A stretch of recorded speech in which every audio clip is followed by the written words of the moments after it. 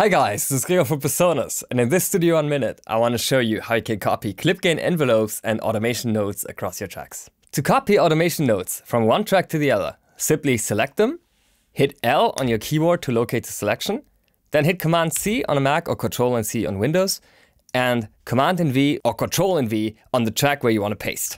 That's it. As you can see, this even works across multiple parameters. You may have to adjust them a little bit, but for that simply select hit Option and T on Mac or Alt and T on Windows, and then join your adjustments. For clip gain envelopes, the process is very similar, but select them by holding down Option on a Mac or Alt on Windows PC. Then hit Command and C or Control and C for copy. Then locate the event where you want to paste to. Make sure that clip gain envelopes are shown. Locate your cursor to wherever you want to paste. In my case, I want to uh, do it exactly as the transient, so I'm going to hit the tabulator key first, tab key, and then hit paste. That's it.